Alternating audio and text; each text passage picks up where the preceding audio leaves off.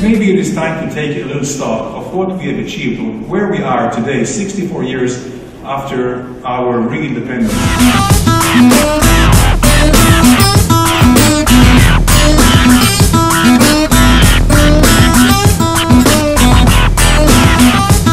If you are watching on air, it is Maria, Maria Quiban here from the Fox 11 newsroom here in Los Angeles. And sitting with me, a very special guest uh, from Israel, the uh, Deputy Foreign Minister, Danny Ayalon.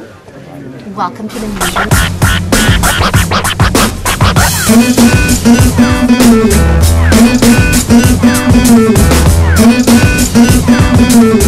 Good evening and welcome to UCSD. And we've got a fascinating event tonight, a chance to hear the Honorable uh, Danny Ayalon, Israel's Deputy Foreign Minister, and to ask him some questions. I um, don't want to belabor with uh, too long of introduction, so let us just cut uh, through the chase. You know, there are many things that are.